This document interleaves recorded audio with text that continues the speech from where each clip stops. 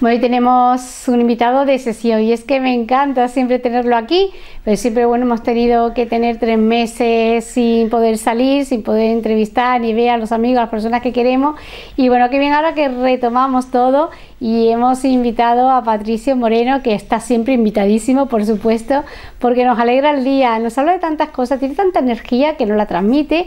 Bienvenido Patricio aquí el estudio otra vez ya vuelta a Otra vez vuelta a casa, no vuelve a casa es verdad, porque de nosotros casi siempre en Navidad siempre vienes, pero es que esto fue ya un poco después, no nos ha dado tiempo de, ni siquiera haber mm. hablado del COVID-19.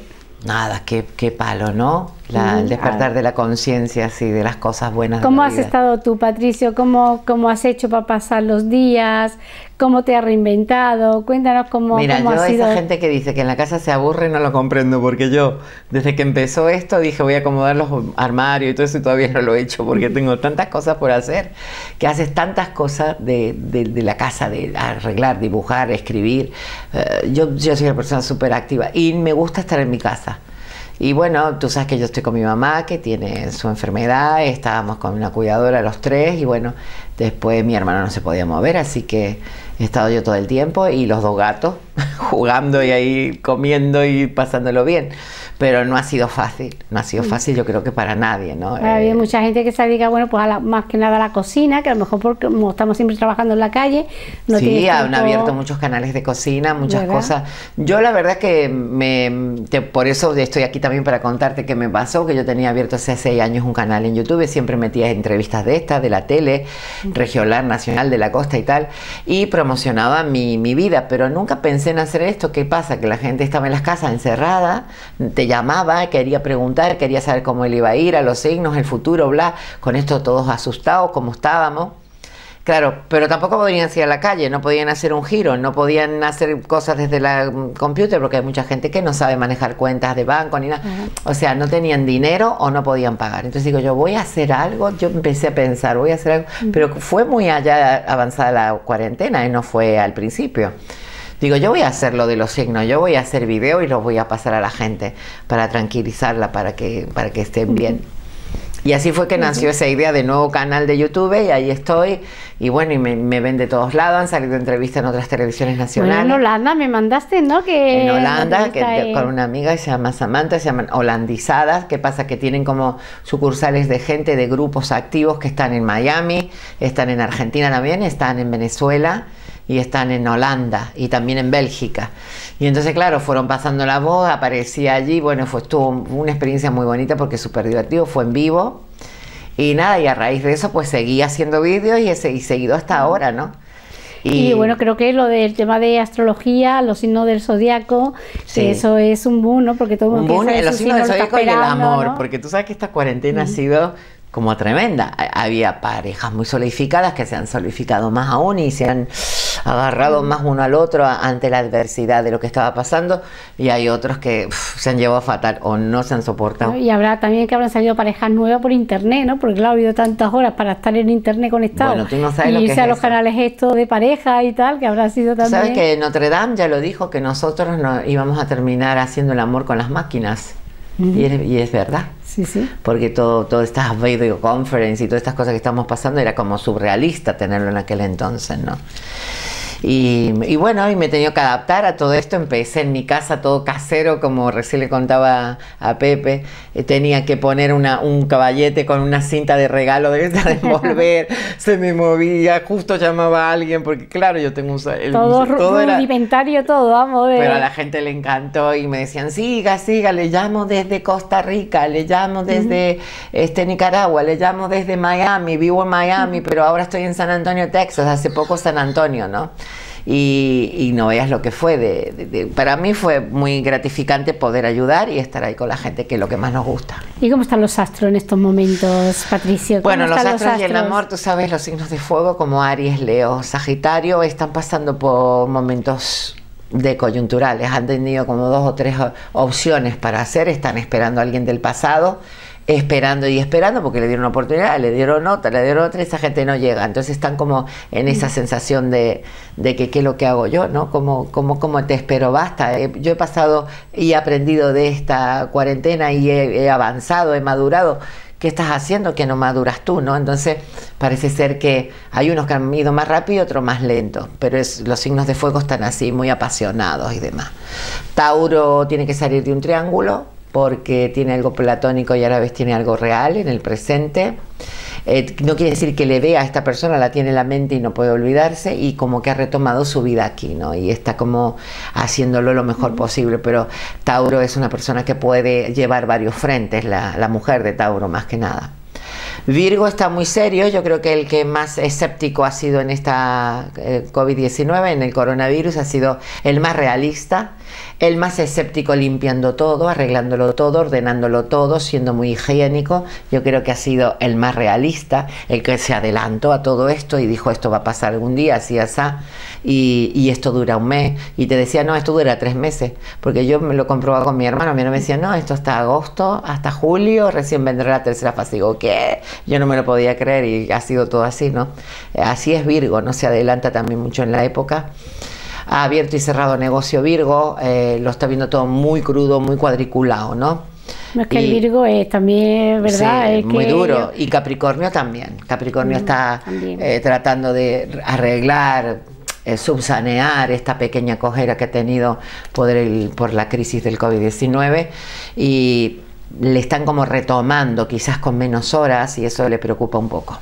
Bueno, así tenemos un poco de los astros también, habéis visto que ¿eh? Patricia. Lo que da aire y agua. Un balance de lo y tal, ¿no? Yo que soy escorpio, ¿no? ¿Tú qué signo eres? Eh, Aries. Tú eres Aries, ¿no? Aries. son los primeros del zodiaco, ¿no? Bueno, te voy a contar una cosa. Capricornio, en mi canal este de YouTube, he recibido 32.800 visitas, una locura. Capricornio? Y Escorpio, casi 4.000, porque los escorpianos son los más curiosos. Los escorpianos son mm. los que van y ven, a ver qué va a pasar, son los que están atrapados. Como rija y ¿no? Es, más misterioso, ¿no? Sí, tú lo sabes, porque tú también eres brujita, que Escorpio es muy brujito y muy brujita. Tú no puedes mentirle a un Escorpio ni le puedes engañar tampoco, ¿no? Piscis se ha tomado todo como con tranquilidad, se ha quedado en casa, se arrima mucho a los hijos, se preocupa demasiado por los hijos y por los padres. Piscis está como en una situación de salud de mayores y de jóvenes y eso es lo que peor lleva, ¿no? Piscis. Em, y luego eh, tenemos a Cáncer que ha tenido una decepción amorosa. Cáncer está esperando. Ay, los cangrejitos que lo han engañado a Cáncer. Era como que le mostraron una nube de humo, ¿sabes? Se enamoró, era como un, estar en un video, en un videoclip, y de pronto viene el calamar y tira la tinta y lo deja todo negro. ¿Y dónde, por qué desapareció así esta persona, no? Está todo como con un misterio. Cáncer está así, saliendo de este misterio y también de una decepción. También cuando yo digo traición, no tienen que ser amorosas, pueden ser también familiares, ¿no? Y Acuario Libre Geni, Acuario ha cambiado toda su manera, su sistema de trabajar, su manera de ver la vida. Acuario se ha vuelto más práctico, sabe perfectamente que le sobran los cinco dedos de esta mano para contar a las personas que realmente le ayudaron y está en una revolución total, también cambiando mucho, mucho eh, casas, lugares laborales, haciendo herencias, eh, preparando herencia, recibiendo herencia, así que Acuario está así. Géminis está también pasando por un mal de amor, es un signo muy positivo Géminis. A mí me encanta Géminis, Acuario y Libro porque son los que llevan las comunicaciones, son los que hablan, los que manejan esta cosa y están al día de todo lo que pasa, si hay más contagiados, si se ha detenido, si, si está menos, Géminis es así. Y Libra, ¿qué te voy a decir de Libra? Libra eh, quizás haya perdido un familiar, no ahora, sino antes del COVID-19. Ya venía un poco tocadito. Todo esto ha hecho de que sea más cerebral también y menos sentimental. Y quizás aquellos que estén solteros están empezando con alguien ahora, que ya nos podemos ver gracias a lo que tú dijiste antes, la cibernética de los videoconferencias y las llamadas. Claro que sí. Bueno, entonces nuestro cámaraman que es eh, Leo. Leo. Yo creo que ya mismo, además, entró ya en agosto, ¿no? En julio. Sí, Leo, Leo es el. De, sí, los Leos. Sí, pero Leo, por ejemplo, es el signo que resurge de la nada. No lo, no lo tira nada abajo es el duro, duro de roer, ¿no? O sea, no es porque sea león de la selva, sino que si él se lo cree y tú te pones detrás de un Leo, Leo va adelante, ¿sabes? Y es capaz de superar todas las barreras, pero los escollos más difíciles de perseverancia, de paciencia, inclusive físicamente, eh, puede estar muy mal, jamás te lo va a decir. Él está siempre con la sonrisa y está ahí preparado para que trabajar y para salir adelante. Leo me gusta en eso, es un luchador. Más luchador, ¿no? ¿Qué tienes en la mano? Que te veo con la Nada, mano. los colores, porque tú sabes que yo Ah, traigo los signos y los colores y todo eso, eh, que empieza ahora la- mm, el verano. Y entonces yo lo llevo siempre como mi amuleto, ¿no? Porque Ay, qué empecé hace muchísimos años con esto en revista mía. Eh, con el primer artículo fue este que hice hace como 16 años en revistas mía América y España, trabajé casi 14 años y fue mi primer artículo y siempre me trajo suerte. Cuando voy a una cosa de entrevista me lo, lo llevo. Yo soy, contigo, qué yo soy curioso. muy supersticioso. Pues está muy bien. Bueno, y hablando, fíjate, una cosa, una de las preguntas que, mm, que nos hacemos todos, estas son el tema de las galas benéficas. Sabes que en Marbella es la élite de las galas, porque también es una ciudad muy solidaria, y viene mucha gente de Madrid, de todos lados, pensando en las galas, en lucir sus joyas, sus vestidos, y claro, y está contribuyendo también a, bueno, pues eh, a personas que lo necesitan, como está haciendo pues esa fundación que llevas tú aquí en Marbella, Sí. que conocemos de todo por ti, porque tú eres el que nos informa siempre, que viene aquí al estudio a hablar. Hemos ido a la casa también de tu mano a visitarla, Sí. todas estas cositas, y te quería, quería aprovechar también el tiempo para preguntarte pues cómo va, eh, cómo también pues ha afectado también la pandemia y cuáles son estos planes eh, más recientes de futuro. Mira, mm, yo tengo esa casa que la tengo que terminar sí o sí. Ha venido justo casi al momento de casi, casi hacer la apertura, vino lo del COVID-19. Eh, nosotros íbamos a hacer gala la segunda semana de agosto. El hotel, como siempre, la cita será en el Gran Meliá Don Pepe. Es un um, cóctel elegante, o sea, eh, la gente va a ir elegante vestida y va a haber, creo que te puedo adelantar que va a ser una cena muy especial porque hay sorpresa, show en vivo, es va a ser como un Cirque de Soleil en vivo eso. Y muy diferente el sistema de la gala porque nos tenemos que adaptar a todas las nuevas ordenanzas del Claro, pero COVID-19. al aire libre, ¿no? Porque son Sí. los jardines, ahí Eh, está los jardines va a ser y tengo ya casi todo casi todo firmado. Cuando yo tenga todo firmado, porque si no me trae mala suerte, te voy a decir los artistas que vienen, pero viene talla internacional, viene de Hollywood también gente y, y va a ¿Hay estar fecha para la gala? la segunda semana de agosto, todavía no la tenemos a la fecha. ¿Ya se puede ir reservando? O Sí, no al se puede? 952 81 41 31. Todas aquellas que quieran más información y quieran saber más cómo va a ser eh, la llegada, porque va a ser todo como muy especial. Vendrá Eva Longoria, me imagino, Sube, ¿no? Claro, María Bravo, ella- seguro. María Bravo y Eva son las inseparables y son las anfitrionas por, por, por ley, ¿no? María Bravo es una tía luchadora que a pesar de todo esto ha seguido haciendo, ha conectado con América, hemos hecho recaudaciones a través de online, entrevistas, no hemos parado en toda la cuarentena, es, eh, no se da por vencida, o sea, se adaptó a todo, el equipo de Global Gift, hemos trabajado inclusive desde las casas, todo mm, con ERTE, sin ERTE, o sea, hemos seguido ahí, ¿no? Eh, María Bravo ha seguido con el teléfono el rojo vivo, una mañana te llama Ricky Martin, mañana llama Anastasia, pasado llama Maluma y los tiene a Claro. todo ahí, ha hecho unas entrevistas en directo con recaudación para, para, para todos los damnificados del COVID-19, ha sido increíble a través de las redes, ¿no?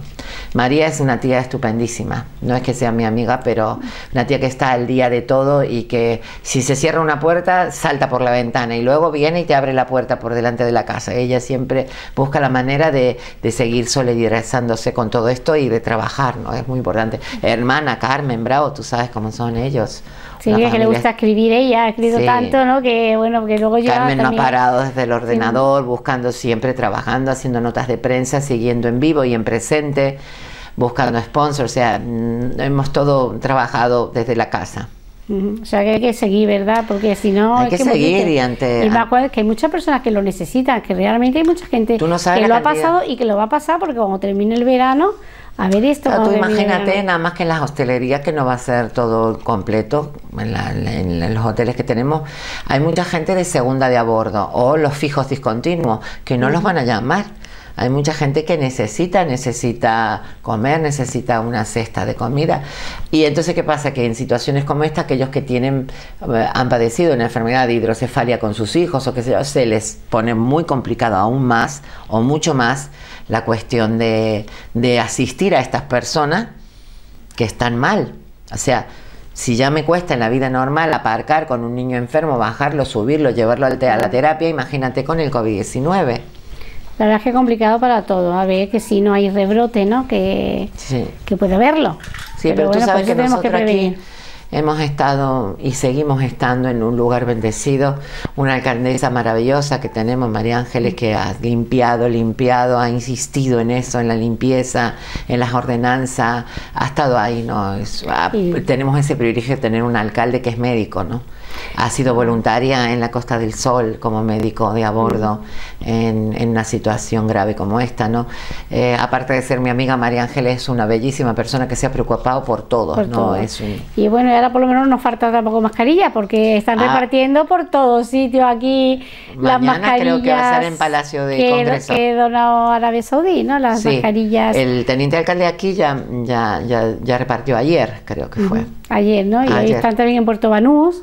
En Las Chapas, en Marbella, ¿no? Y o sea que le están dando, la verdad, muy bien, muy bien. Que no nos ponemos la mascarilla porque no queremos. Porque no quiera, vamos. Nosotros estamos guardando la distancia, ¿eh? que eso es importante decir guardando las distancias. Por eso la gente. Lo estamos sin mascarilla. y nosotros nos conocemos y sabemos que tú no tienes nada, ni yo tampoco, pero lo mismo. En todo caso. y que no sabe pues, si puede cogerlo mañana. Vamos, que yo ahora, por ejemplo, mi analítica es que es negativo, pero. Yo también la tengo hace como siete días y no tengo nada. Claro, o sea que está.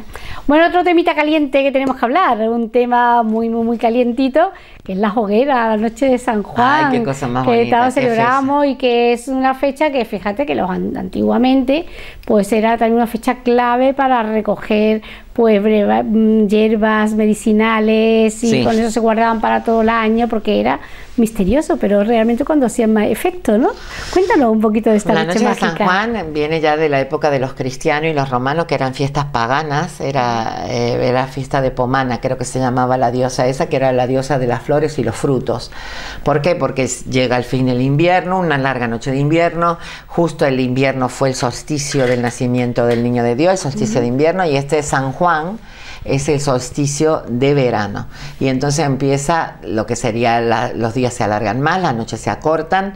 Y entonces, claro, era una fiesta mm, de, de, gran festejo para los romanos, porque hacían unas bacanales, una fiesta increíble, bajaban de todos los pueblos, se reunían. Y ahí empezó, a, cuando llegan los cristianos, empiezan a, recordar todas estas cosas tan paganas, tan así, y vienen con su San Juan con su noche de San Juan. Entonces, claro, se mezcla todo, celtas, íberos, eh, ítalos, todos juntos.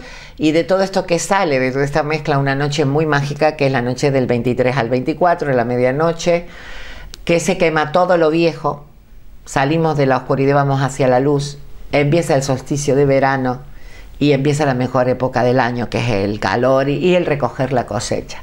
Entonces la gente del norte de España, por ejemplo los gallegos, los gallegos se juntan las cosas. Sale bien el acento. ¿eh? las, las, hierbitas, se juntan las hierbas, hacen las eh, conservas, se conserva comida para el largo eh, invierno que va a venir, se juntan las frutas, se hacen salsas de tomate, cosas de esas conservas de, de, verduras y de frutas. antiguamente yo recuerdo haber visto en casa, en el pueblo, las conservas de tomate tomate, como tú has dicho. Sí, se pelaban.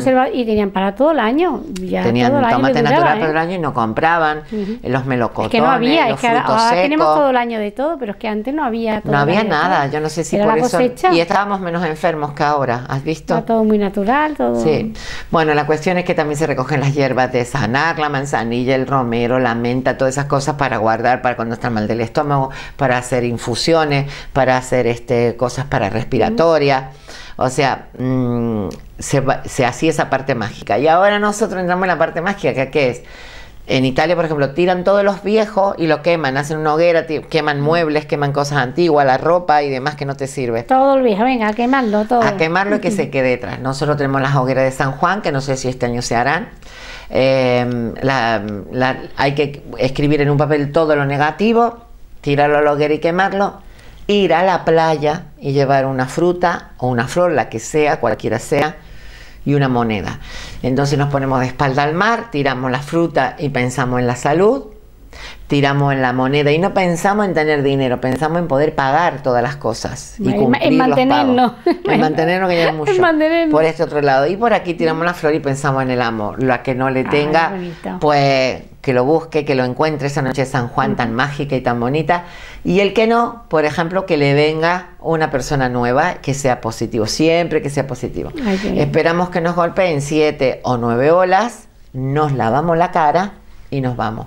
Ahí termina el ritual. Hay gente que junta agua en botellas de plástico. ¿Por qué la junta? Porque yo ya la tengo juntada el año pasado, entonces antes, dos o tres días antes, es agua de mar te sirve simbólicamente para limpiar toda la casa porque tiene sal. La sal es la purificadora máxima de todo lo negativo. Entonces se limpia toda la casa, se arman los armarios, todos los rincones, los todo lo que son los tableros, las bibliotecas, todo lo que nos sirve lo vamos limpiando, limpiando y tirando. Dejamos la casa limpia para que a las 12 de la noche, cuando ya sea San Juan, entre con bendición la casa positiva, más si ha habido enfermos, más si hemos estado encerrados todo el COVID-19, mm. limpiar, clarear, limpiar las ventanas, las ventanas son los ojos de la casa, las puertas, todo eso nos trae mucha suerte. Claro que no es como estamos limpiando ahora con lejía y desinfectando, una limpieza espiritual, ¿no? Espiritual. que si pone una vela blanca, mejor. Porque habrá gente diga, pues yo tengo mi casa como los chorros del oro, hemos estado todos los tres meses limpiando con lejía toda mi casa. Si, tiene, si tiene una vela blanca, mejor, y si puede quemar incienso, mejor. Y romero seco también. Y romero santo, romero bueno, quítame lo malo y ponme lo bueno, que son cosas ya de nuestra. Y el agua la guardamos y le ponemos 2020. Ya sabemos que esa agua fue del 2020. ¿Vale? Yo tengo agua desde, no sé qué, desde 2009 creo que tengo agua y eso no se echa a perder y siempre te viene bien para limpiar. Para pues yo la de este año no la había guardado. Vaya, yo pone 2022, oye, es que no, no este, este año después dice año bisiesto, año siniestro. Y mira la cantidad de personas que, además de esto del COVID, personas que han muerto, que conocía y tal, y digo, pues será a lo mejor es verdad lo que dice el refrán, los refranes de antes eran muy ciertos, ¿no, Patricio? Era como muy... No, y los chinos, por ejemplo, no era un año favorecedor, el año de la rata. El año de la rata. Yo, era, yo soy dragón, soy cochino. Pero mm, el, año de la rata no ha sido bueno. Yo, yo ya lo habían predecido a esto. Lo sabía. bueno, yo te voy a decir una cosa. Yo tengo mm, un amigo que mm, de muchos años, que es Fabián Frin, que él tenía la galería de arte. Estuvo sí, me acuerdo cuando íbamos a Fabián Frin, que la llevaba Patricia. Patricia Hafner. y íbamos allí a la galería de. Estaba en Puente Romano, ¿no? Era Marbella, Club. Club. Sí, yo trabajé con él en una época también. Y, resulta ser que él, ya cuando esta última época que yo hablaba con él, me decía, ay, yo a veces pienso que aquí va a pasar algo en China, porque todo el mundo anda con mascarillas, tosen mucho, hay muchas infecciones, dice, todas cosas pulmonares. Dice, cuando yo salgo de mi casa, eh, dice, veo todo, eh, todo como una, un plato gris encima de la ciudad, como, si, como México, que está también contaminado, que ves el Distrito Federal, igual. Y entonces me decía, aquí va a pasar algo. Yo siempre siento, y yo nunca me olvido las palabras de este muchacho. Bueno, muchacho que ya es un hombre. Sí, pero y me dice, pues dice que era algo y que como dijo tan claro que iba a ser respiratorio, ¿no? Lo que nunca pensamos que iba a ser de estas dimensiones, ¿no? Que nunca sabremos verdaderamente cuánta gente murió en China, porque tú sabes. Ni aquí, ni la que Pero en China menos, en China menos. No sé, salió la noticia que en la Costa del Sol ya pues, salió el último que había ya en UCI, que ya había salido, que no había nadie en la UCI ni nada. Bueno, por, lo menos parece que, que, sí, que vamos mejorando, vamos, sí, con diferencia de cuando todo esto empezó. Pero bueno, esperemos que esto que esté ya limpio ya mismo de ya, no, yo creo que no. Y con este solecito que... tenemos, con los rayos, uvas, esto, esto ya no lo... Los italianos tuvieron recaída porque los italianos son muy enamorados, tenían que ir a ver las novias, los novios, y ahí se juntaban de noche, parecía que estaban de cuarentena, pero de noche no, y entonces se han contagiado mucho. Tú sabes, el amor latino. Tú ves eh, que ahora el amor internauta eh, que va a tener, como tú has salido, has dicho, es amor por, por, internet todo, ¿no?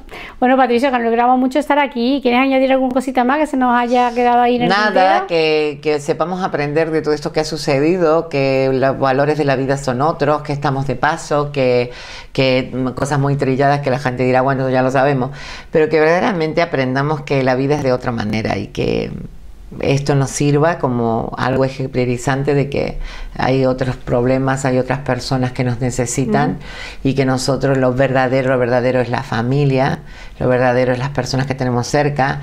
Si tenemos dinero y bienes no nos sirve de nada como no nos ha servido ni para moverlo ni para gastarlo. Y que, y que el sentido de la vida es otro, que nuestro paso es efímero, es muy rápido y que lo que tenemos que hacer es sembrar para dejarle a los otros que vienen atrás qué mundo le vamos a dejar. Y hemos hecho mucho destrozo con los animales y con, la, con el planeta, porque lo hemos visto en las redes sociales, los ciervos acá en Cádiz abajo, en el, en el agua, los jabalíes saliendo a la calle, o sea, eh, hemos hecho muchas cosas feas con, cuando ellos estaban primero que nosotros. Y no hemos respetado la naturaleza y la naturaleza tarde o temprano, tú sabes cuando la gente construye en esos ríos y hace unos chales preciosos y después viene una rea y se lleva a la casa. O sea, la naturaleza va a seguir siempre su naturaleza y su curso, por eso es la naturaleza del mundo. sí, por supuesto. Mira, los árboles echan raíces y nosotros echamos basura. Exactamente. Eso es lo que vamos echando, Patricia, es una pena, pero es así. Bueno, pues tenemos que felicitar a los Juanitos y a las Juanitas. También a, todas, a, a todas las Juanas y a todos los Juanes. A todos, a todos las Juanes las Juanas, las felicitamos. Que yo no sé, pero no sé por qué me pasa que la Juana que conozco o el Juan son buena gente. Es verdad. ¿Por qué puede ser eso? A mí me pasa igual, yo siempre lo he dicho, digo, el Juan ¿cómo te llama? Juan. Me dice, me llamo Juan, pues tú tienes que ser muy buena persona. Porque todos los Juanes son buenos. ¿Por qué los Juan son tan buenos? Yo no sé por qué eso, siempre eso me pasa. Hay que investigarlo, investigarlo y no lo cuentas la próxima el, vez. ¿eh? Algún día de los nombres, de los nombres. No, vamos a investigar esas cosas, ya me lo cuentas aquí en el estudio, que te esperamos próximamente, que ya podemos venir aquí, hacer otras entrevistas, que me cuentes cosas. Y ya también pues me vas un poquito ya informando de cómo va la gala. La gala, sí, yo te cuento. Como todas las cositas, cómo va transcurriendo y ya sabes que es tu casa. Así que yo lo tú sé, quieras, yo lo sé. a que eres bienvenido siempre. Patricia Moreno, Venga. muchas gracias por tu tiempo, muchas gracias A por ti. venir y te espero pronto. ¿vale? Venga, gracias, Próximamente. gracias, Elena. Hacemos ahora una pausa, nos vamos a publicidad y enseguida volvemos.